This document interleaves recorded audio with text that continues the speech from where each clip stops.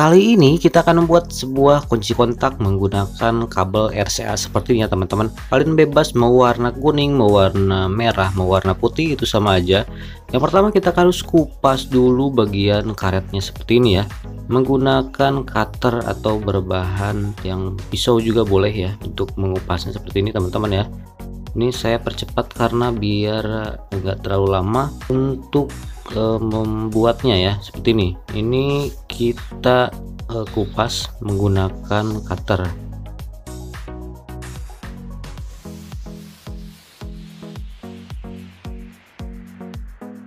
Oke ini ada yang berbahan kuat ada yang berbahan lentur ya teman-teman. Jadi bisa kita uh, bakar seperti ini menggunakan korek api ya kemudian kita tarik menggunakan tang supaya bisa cepat untuk bersihnya. Nah seperti ini.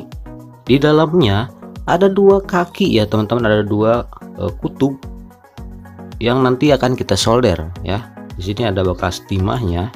Kita harus bersihkan dulu ya sebelum kita solder. Nah seperti ini. Kita bersihkan dari karetnya tadi. Kita klik dulu karena ini menggunakan colokan yang lama. Jadi ini kita akan membersihkan bagian-bagian eh, apa korosinya sebelumnya kita harus cek dulu menggunakan apometer ya. Kita amplas dulu tadi. Oke karena ini jacknya udah lama ya. Oke ini masih berfungsi teman-teman dengan baik ya. Jadi kita tinggal solder aja nah ini kutubnya bisa kalian lihat. Untuk negatif ini dari luar ya. Yang plat luar sedangkan untuk positifnya di tengah-tengah yang tunggal itu tuh ya itu adalah positifnya. Namun kita juga harus memerlukan ini rumah jacknya. Kita dapatkan dari bekas amplifier yang sudah tidak terpakai teman-teman ya Oke, kalian bisa dapat dari DVD bekas atau TV bekas ya. Yang di dalamnya terdapat konektor RCA. Nah, seperti ini kita potong dulu yang bagian PCB-nya. Nanti kita hanya perlu konektornya aja.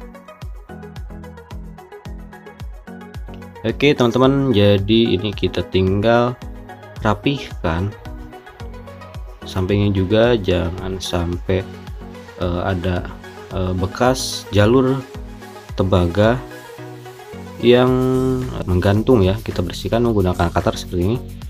Sebelum kita solder kita cek dulu ini udah pas teman-teman ya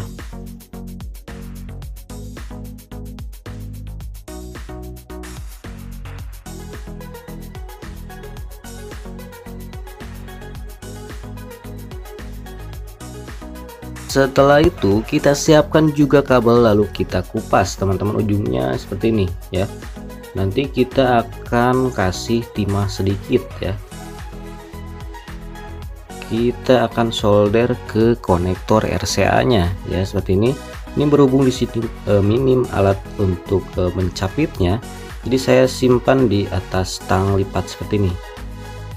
Jadi ini kita kasih timah dulu di bagian konektornya supaya nanti untuk penyolderan bisa rapih teman-teman ya. Jadi langsung menempel gitu aja ya. Jadi matang ke timah atau e, solderannya oke? Okay? sekarang kita kasih timah secukupnya.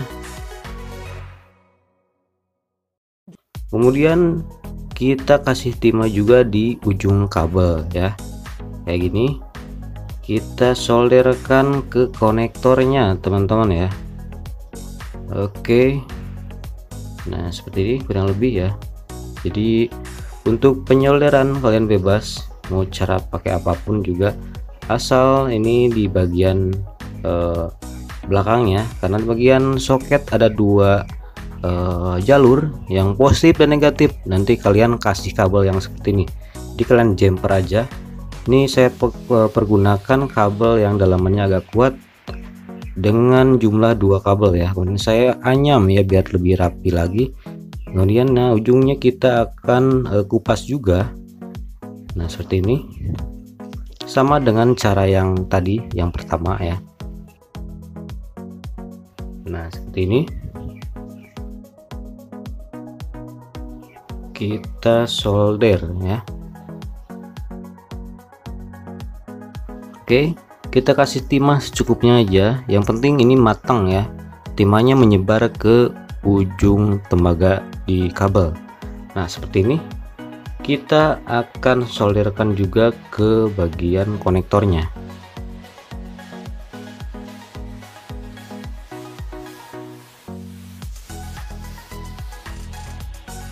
Nah kemudian kita harus siapkan juga kabel yang e, diperuntukkan dari rumah konektornya ya.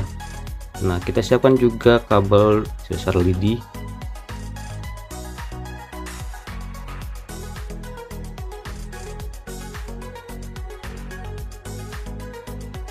kita kasih timah juga untuk warna kabel bebas. Kalian tentukan yang penting e, banyaknya dua dua buah ya. Oke kita akan kasih timah dulu di konektor rumah konektornya ya maksudnya. Nah seperti ini. Supaya nanti pada proses penyolderan itu lebih matang ya bisa nempel dengan cepat. Karena kalau misalkan kita tidak kasih timah terlebih dahulu nanti dalam penyolderan itu agak susah ya. Teman-teman bisa ngikutin juga cara ini langsung sambil nonton videonya ya Oke kabel pertama sudah berhasil kita pasangkan. Kita hubungkan kabel yang kedua. Nah seperti ini. Untuk letak dari e, kaki atau pin pada e, rumah konektornya kalian tentukan menggunakan avometer ya. Karena ada tiga e, pin yang satu tidak, tidak dipakai ya. Hanya dua saja yang dipakai nah seluruhnya kita siapkan juga lem lilin lem bakar atau ya. Kayak gini. Supaya tidak terkena air. Nah seperti ini ya. Kita gulung di belakang bekas eh, penyolderannya tadi. Oke. Kita kasih eh, secukupnya aja ya. Karena kalau terlalu banyak nanti akan mengganjal pada eh, ini konektornya ya. Nah seperti ini kurang lebih cukup ya. Nanti kita tunggu dulu agak keringan. Ya nah untuk sampingnya juga kita kasih ini nih. Oke ini udah mulai kering dan kita kasih lakban ya. Nah seperti ini.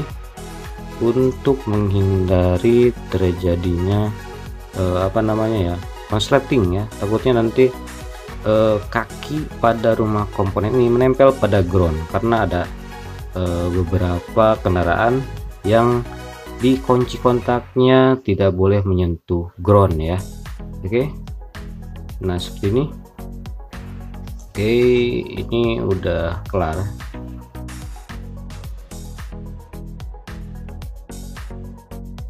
Oke guys, jadi kali ini kita akan eksperimen lagi menggunakan kabel RCA dan konektor yang sudah tidak terpakai ya teman-teman ya. Jadi ini adalah salah satu motor yang akan kita eksperimenkan dan ini pemiliknya, Mang Iris. Halo. Jadi sore kali ini kita akan bikin kontak yang tidak biasa pada umumnya ya, menggunakan konektor RCA seperti ini ya.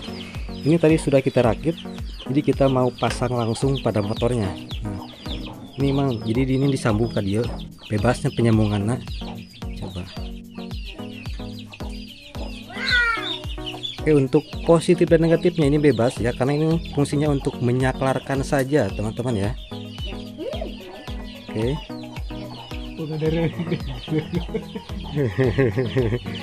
Oke ini keren banget teman-teman ya. Karena ini kunci kontak tercanggih di dunia ya menggunakan kabel seadanya ya kemudian kita akan tes sekarang ya menggunakan uh, konektornya. Itu bisa dipasang kunci kontaknya. Nah itu kunci kontaknya.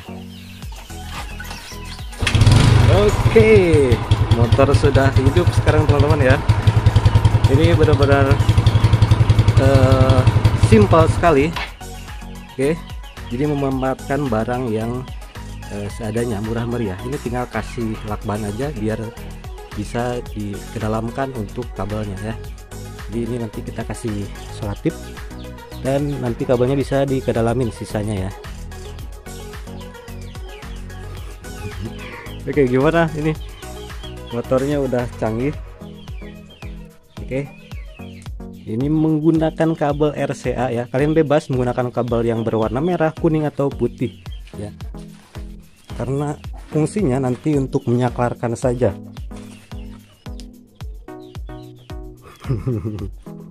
keren sekali teman-teman ya Oke guys, jadi ini udah kita kasih solasi ya. Jadi biar aman kak konslet, ini bisa kedalamin kabelnya ya. Nah biar lebih simple, nanti cukup konektornya aja yang terlihat nampak luarnya. Nah seperti ini. Jadi untuk kunci kontaknya sendiri ini aman. Kalau hilang pun bisa bikin lagi ya teman-teman ya. Oke, ini udah mantap ya. Oke, selamat bertugas untuk mengiris. Ini mau dinas dulu ya ke belakang. Oke, terima kasih banyak.